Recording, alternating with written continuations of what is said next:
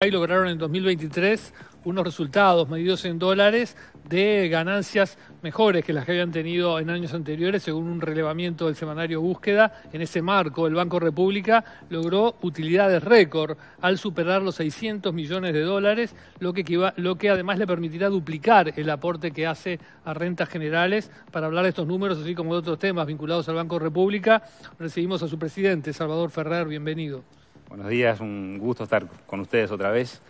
Y ahora que hablaba de números y números positivos, recordaba que estuve aquí hace un año aproximadamente hablando de las dificultades de la sequía y cómo estamos enfrentando tiempos complejos. Así que mucho más divertido poder hablar de cosas positivas. Muy bien. ¿Y cómo se lograron estos este, beneficios, este superávit este, tan amplio que va a permitir, permitir duplicar el aporte de rentas generales? A ver, yo creo que eso es una, es una muy buena noticia y sobre todo por eso último, ¿no? Porque de alguna forma el Banco República cumpliendo con su mandato institucional histórico de ser el, promotor del desarrollo económico de personas, familias, empresas, cumpliendo con el mandato de dar mejores servicios a la sociedad en, términos de, transaccionalidad financiera, cumpliendo con el rol de ser el banco de desarrollo del país de alguna forma, a pesar de ser un banco comercial en plena competencia, está generando buenos resultados. Y buenos resultados que van al fin del día a rentas generales para que el Estado pueda cumplir con sus diferentes fines.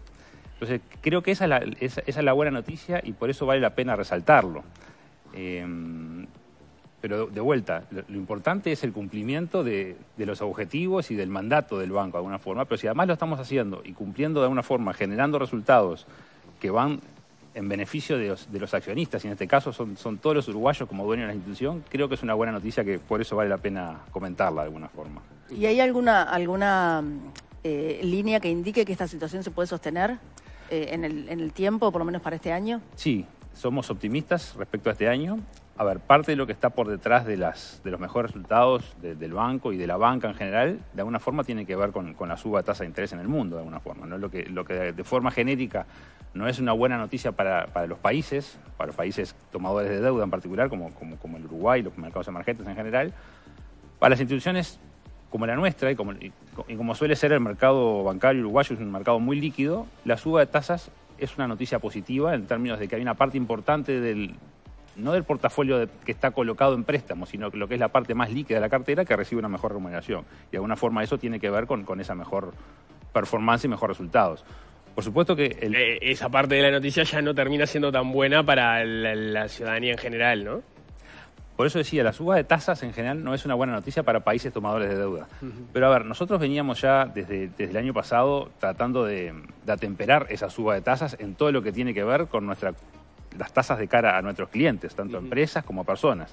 O sea, no, hemos trasladado la suba completa de tasas en, nuestro accionar de alguna forma, pretendiendo dar ese, buen aporte que entendemos que corresponde desde el Banco País, de generar un mercado competitivo en buenas condiciones y creo que eso es parte del, rol importante que venimos cumpliendo, de tener un mercado cada día más competitivo, ofreciendo buenas soluciones y en lo que tiene que ver con la generación de resultados, toda la parte positiva de lo que es la contribución que desde el banco hacemos al Estado, a todos los uruguayos de alguna forma. no nos olvidemos que el 80% de los, de, los, de los resultados del banco vienen siendo distribuidos hacia, rentas generales durante estos últimos cuatro años. Nos queda aún un año más de gestión a este, a este directorio, pero la estimación es que en estos cinco años vamos a haber aportado a rentas generales entre dividendos e impuestos algo así como 2.500 millones de dólares. Es una cifra bien relevante que vale la pena resaltarlo, pero de vuelta, resaltarlo en el, en el contexto de de, lo otro importante, de que el banco viene cumpliendo de alguna forma con, su mandato, que ha sido un, soporte bien importante de los diferentes sectores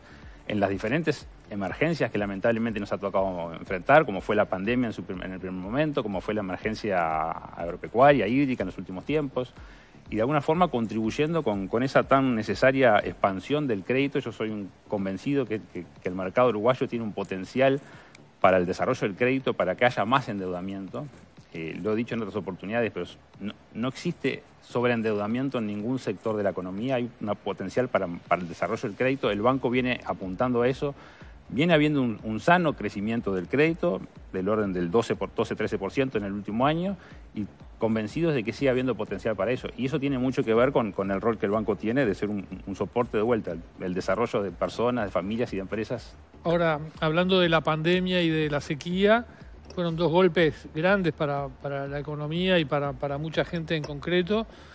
Uno tendría que pensar que, habría más morosidad, ¿no? ¿No es lo que ha ocurrido? Hay un leve incremento de la morosidad, es cierto, en el caso del Banco País eh, ha sido de un punto porcentual aproximadamente, del 2,5 que teníamos en el anterior, un nivel cercano al 3,5 este año. Es una cifra para mirar con atención, no de gran preocupación, honestamente, en el contexto negativo que hemos tenido. Entonces, eh, es una cifra que miramos, monitoreamos, pero no es una cifra de, preocupación relevante para, de vuelta, para el contexto tan adverso que ha tocado enfrentar. Y más allá de esa morosidad, las ganancias suben por otro lado, entonces. Correcto.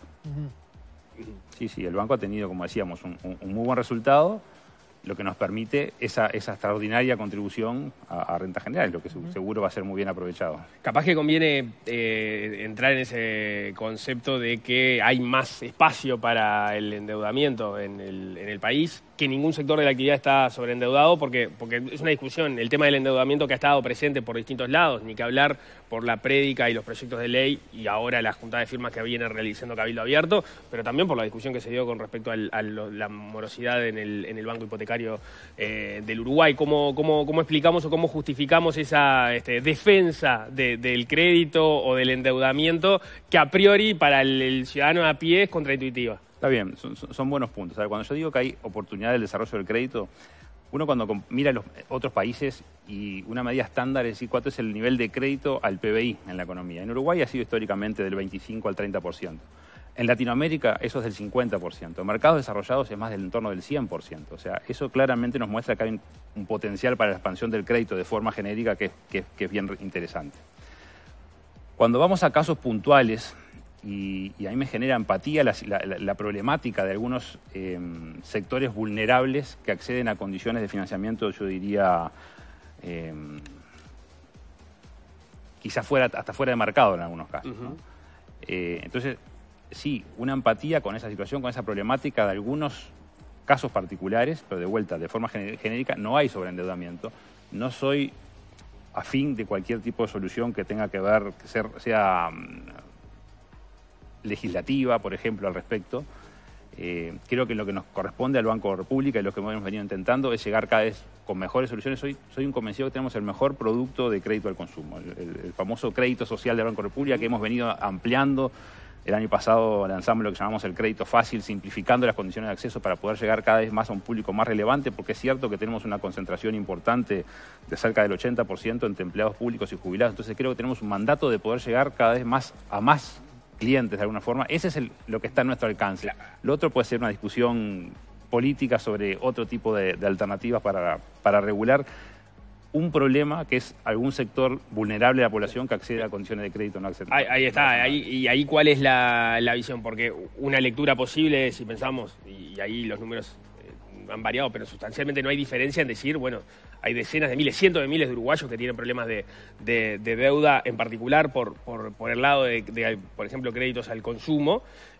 Y uno se pregunta, bueno, el Banco República no tiene, entonces ese espacio no ha podido desarrollar políticas que eh, capten esa población que termina en, por, otros lados, de repente fuera del sistema bancario, de repente a través de eh, financieras o incluso por fuera de, financieras que también tiene otros riesgos. Ahí, ¿qué, es lo que se puede hacer desde el Banco República? Seguramente algo de eso hay y en eso estamos intentando de poder llegar cada vez más a, más clientes. Decía, de alguna forma lo que es el crédito al consumo, si uno lo mira hoy, es 50% el crédito del Banco República y lo que es el crédito de la banca privada y las financieras.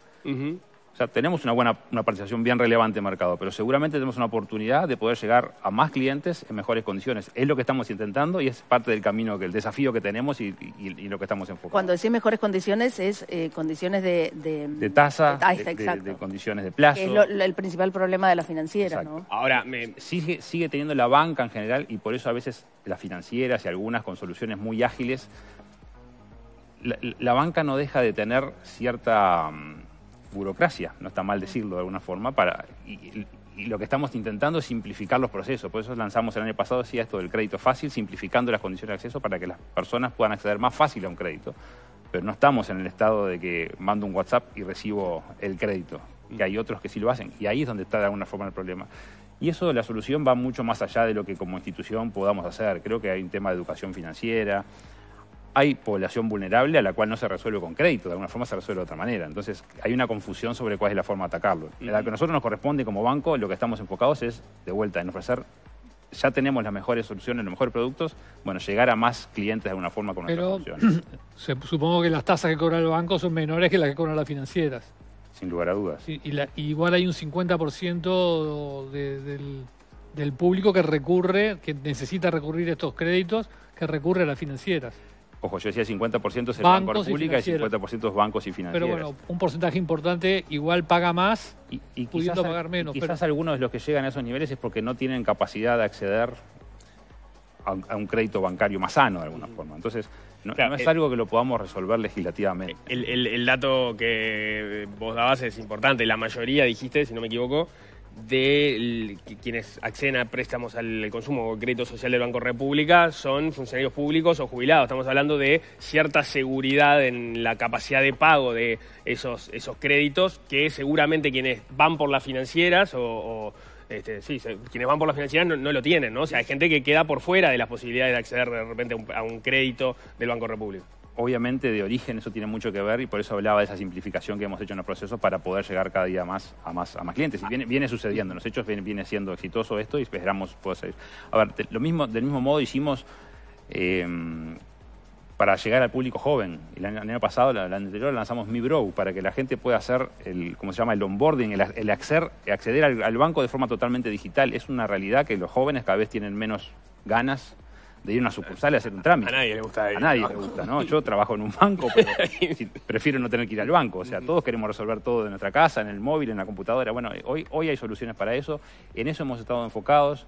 Creo que, que parte del año pasado recibimos dos reconocimientos que, que nos enorgullecen de alguna forma y a, y a todo el equipo del banco. Uno eh, del ranking Merco que, que elabora indicadores eh, el, el- el diario País como la empresa de mejor reputación en el país. Y por otro lado, eh, la revista especializada de Banker como el mejor banco en Uruguay. Y no era solo un tema de tamaño, porque está bien, es el banco más grande en Uruguay, el número 20 en Latinoamérica, pero sino de alguna forma reconocía la capacidad de servir a, nuestros clientes con la gama completa de, de ofertas y soluciones que el banco tiene y además generar resultados para accionistas. Eso es un poco lo que, lo que resaltaba en ese reconocimiento. Y creo que por eso es, es parte de... Seguro tenemos muchísimo para hacer y, y- y a muchos más clientes hay que llegar y mejores soluciones hay que seguir trabajando. Pero estamos muy enfocados en eso pensando en, ese, en, el público de una forma, que era otra cosa también que vale resaltar, es todo lo que venimos haciendo en, en pos de lo que yo digo, la, verdadera inclusión financiera, ofrecer a nuestros clientes soluciones transaccionales mucho más amigables, como puede ser hoy eh, el, tema de las transferencias instantáneas. Hoy ya podemos transferir instantáneamente de aquí a tu, a tu cuenta en el banco que sea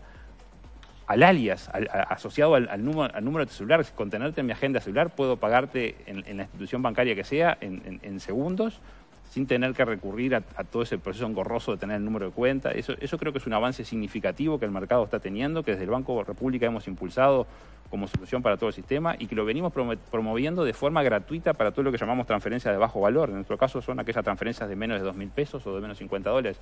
Y creo que, el mercado ahí tiene para seguir avanzando y eso es parte de, de- de- de las cosas que de alguna forma venimos ayudando a, a desarrollar. ¿Están contemplados los riesgos en ese tipo de, de transferencias? Sí, por supuesto, sí.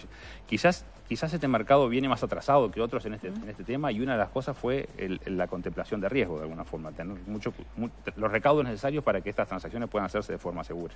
Eh, me, quedé pensando en algo que, decías, que también se lo decías a búsqueda, que no, estás de acuerdo en eh, soluciones legislativas para el tema de endeudamiento. Imagino que una parte de eso tiene que ver con, bueno, eh, soluciones de, perdón al endeudamiento, pero hay otro tipo de discusiones, como por ejemplo, cómo regular la tasa lo que se entiende por usura, ¿no? Pienso en el proyecto del, del- diputado eh, Daniel Peña, donde dicen, bueno, desde hay una lectura en la cual se ha empezado a tomar las tasas de lo máximo que se puede cobrar para, para los préstamos, donde se integran los intereses que cobran este, la- las financieras y eso desvirtúa los topes a los que se puede eh, cobrar una tasa de interés. ¿Qué visión tiene el banco a propósito? No, a ver, el banco está muy, muy, pero muy lejos de cualquier De- nivel de de- usura, ¿no? exacto. Eh, Si, si fuera por pero, pero, pero te Pero compite es verdad, es, verdad, demás. es verdad que hay otros jugadores que de alguna forma distorsionan esa, esa lectura. O sea, puede haber algún ajuste a hacer en esa, en esa materia.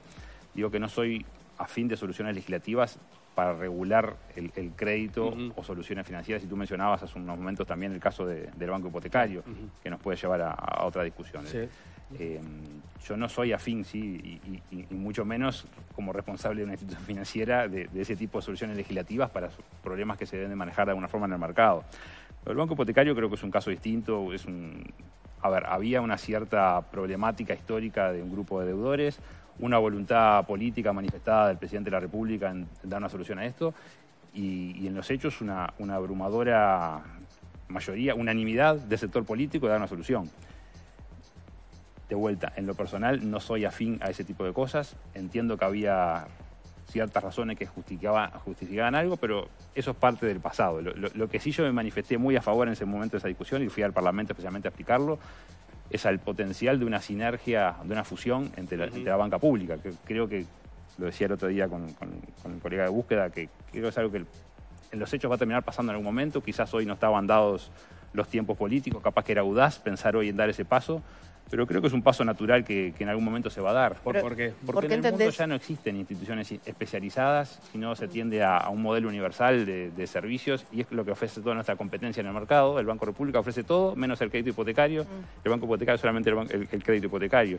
Pero vos manejabas que, con, la entrevista con búsqueda, manejabas que es inevitable. ¿Vos decís que es inevitable porque no se van a poder sostener las dos instituciones por separado o porque es, más fácil, digamos, unirlas para poder dar todo el, todo el servicio? A ver, nosotros estuvimos dos años trabajando internamente para llegar a un acuerdo en el cual poder ofrecer soluciones en conjunto y hoy tenemos un acuerdo que, bien empieza, a funcionar, pero no es lo mismo que poder manejar todo de forma consolidada. Entonces, creo que más allá de, de pensarse en una medida de chique, como en algún momento se mencionó, el posible cierre del banco hipotecario, ni por asomo es eso lo que está en los planes. De alguna forma lo que yo veo es el potenciar realmente el desarrollo del crédito hipotecario. Creo que la consolidación de las instituciones ofrece un potencial enorme por la capacidad que desde el Banco República tenemos en términos de balance, en términos de cantidad de clientes, en, términos de cobertura comercial. Tenemos una presencia inigualada en el mercado y eso potenciaría la posibilidad de llegar a más familias en mejores condiciones y realmente potenciar el crédito hipotecario. Y, en los hechos, lo que viene pasando en, los últimos 10 años es que el crédito de la banca privada contra el crédito público en el tema hipotecario viene creciendo 10 a 1. Entonces realmente hay una oportunidad de revertir esa situación y ir a mucho más. Ah, ah. Eso no, no estoy anticipando problemas. El banco hipotecario no viene teniendo dificultades, no es un banco que da pérdida tampoco ha tenido la posibilidad de, distribuir dividendos como desde el Banco República venimos haciendo. Y ya entrando a, temas más técnicos, hay un, hay un, nivel de capitalización, hay un yo digo, es, importante que el Banco República distribuya dividendos porque de alguna forma está diciendo el capital invertido en el banco está bien invertido y la institución genera dividendos para toda la sociedad. Bueno, en el banco hipotecario no hay esa posibilidad de estar generando dividendos para la sociedad. Entonces hay un capital invertido que no está rindiendo de esa manera. La sinergia de esto seguramente eh, implica mejores resultados para la sociedad y mejores resultados para la sociedad como accionista. De la ¿Y tenemos una burocracia para los clientes. duplicada? ¿Se duplica la burocracia? A ver, eh, tenemos dos directorios, dos gerentes generales, pero, pero eso no sería la razón seguramente por la... E, eso no mueve la aguja al fin del día. Eh, estoy a fin de toda esa simplificación, pero formalmente eso no mueve la aguja. Lo relevante es lo otro de alguna forma, el poder ofrecer mejores soluciones y el poder ofrecer mejor retorno. O sea, una mejor solución para los uruguayos como dueños de las instituciones y como clientes de las instituciones. Ahora, es el futuro. Que, mm, eh, se, entiende la idea de que bueno hay un camino, si no va a cualquier otro banco privado, tiene toda la oferta de los créditos ahí y eso no pasa con el Banco República y el Banco Hipotecario, como si dijera, bueno, voy a una estación de servicio eh, que no tiene el sello ANCAP, me venden todo, pero voy al sello ANCAP y me cargan la nafta, pero no me dan el aditivo y tengo que ir a otro lado a comprar el aditivo. Eh, esa idea se entiende. Ahora, ¿de qué forma el, cliente, el que va a acceder al préstamo, se podría haber beneficiado de esa, de esa sinergia. Digamos, ¿qué es lo que puede hacer una absorción del Bro en relación a, el tip, a, la, participación que está teniendo en el mercado del banco hipotecario, que como vos decías, viene creciendo mucho más el crédito privado que el crédito por, hipotecario por el lado del banco hipotecario? De, alguna forma, el, Banco República, por suerte, consta de... tenemos el honor de tener el 50% de los depósitos uruguayos, una gran confianza del público uruguayo, eh, eso nos, permite tener una situación de liquidez muy confortable que nos permitiría ser agresivos en las condiciones de financiamiento. como, venimos haciendo en el crédito al consumo, como venimos haciendo con el crédito empresarial, ofreciendo las mejores condiciones, los mejores plazos. O sea, el Brow tiene más espalda para dar eh, préstamos a tasas más bajas si quisiera salir a competirle, o sea, en, relación a lo que está haciendo hoy el Banco Hipotecario. Estoy convencido que la sinergia de las instituciones terminaría ofreciendo mejores condiciones al fin del día para los clientes. Le quiero preguntar por otro tema, antes de que se termine, el tema de las estafas este, digitales. Hace poco tocó en mi familia un intento de estafa que era bastante complicado en su proceso, pero terminaba con una llamada de una persona que en el teléfono aparecía el logo del Bro y pedía los números de cuenta. No cayó la persona por suerte, pero pudo haber caído y supongo que intentarán muchas veces por día y que alguien caerá finalmente, digamos. No, a ver, lamentablemente es un tema recurrente en los últimos tiempos. Es cierto que en el 2022 hubo un pico muy fuerte que se revirtió, diría, en el 2023 volvimos a una situación más normal, ¿no? Pero en el 2022 tuvimos un pico muy fuerte en el mercado de estafas. Cuando hablo del mercado, esto es por supuesto que siempre el Banco República copa titulares de alguna forma, pero esto es un problema no solo de Uruguay, de todo el mundo, y, en el Uruguay no solamente el Banco República, sino toda la banca. Por suerte, digo, hemos vuelto a situaciones normales, pero tenemos casos a diario. Yo diría que eh, los meses picos son hasta 100 casos por mes. 100 casos por mes. De repente, el mes estándar son 40, 50 casos al mes. Lo importante es que el 50% más o menos se, sigue logrando recuperar.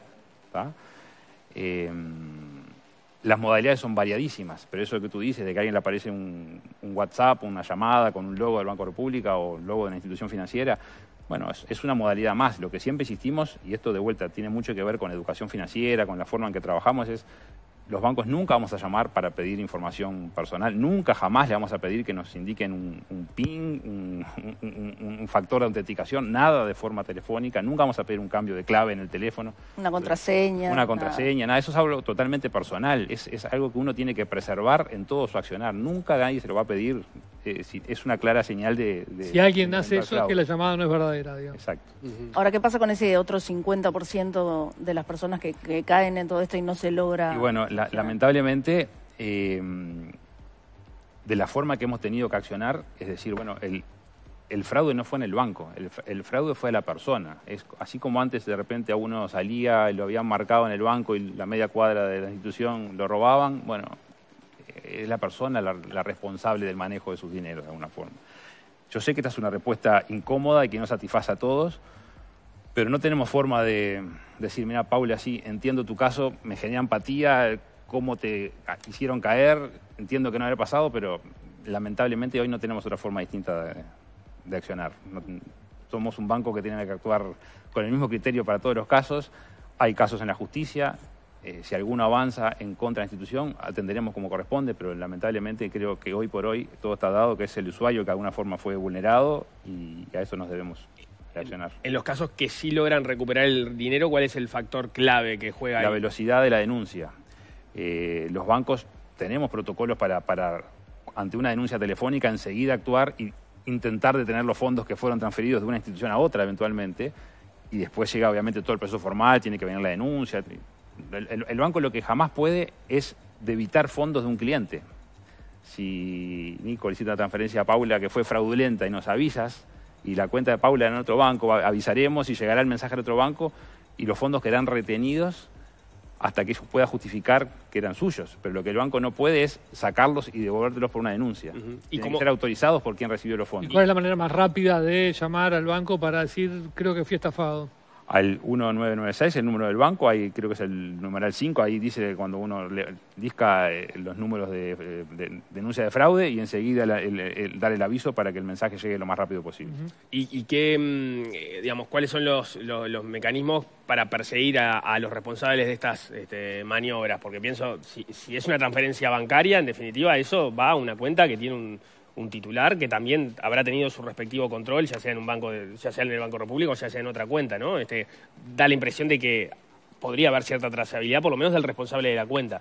Sí, sí la hay, eh, lo que hacemos los bancos cuando detectamos, y lo, que hacemos en el Banco República en particular, cuando detectamos casos o una cuenta que se usa de alguna forma para un fraude, está ese concepto de, mulas, de gente que permite el uso de su cuenta para, para pasar fondos. Bueno, vamos cerrando cuentas. Van parte del accionar que está dentro del ámbito privado en el cual podemos actuar. Después la justicia, obviamente, tiene todo el camino que tenga para el denunciante y llegar al estafador. Distintos son los casos si te a través de tu cuenta te piden un préstamo o bueno, te retiran directamente los dineros de tu propia cuenta, ¿no? Pero de vuelta, hay alguien que está defraudando a la persona que de alguna forma accedió a las credenciales para solicitar un préstamo, para hacer una transferencia, para, para lo que fuera. De vuelta, eh, es un tema sobre el cual vale siempre la pena poner sobre la mesa para generar conciencia, es parte de esto de que yo digo, la educación financiera, educación en, en, lo que es la transaccionalidad financiera, de esto que hablamos de que hoy cada vez vamos menos a la sucursal y todos queremos operar de forma digital ser muy cuidadoso, preservar su usuario, su password, su contraseña, su segundo factor de autenticación. No hay nadie que se lo vaya a pedir. Eso son algo totalmente individual que solamente uno tiene que usar al momento de transaccionar. Bien. Más nada, esa es la forma de preservar la seguridad. Salvador Ferrer, muchas gracias por habernos acompañado. Muy amable, placer. gracias. Las órdenes. Ante la tanda, ¿Sí? ¿en qué año empezó?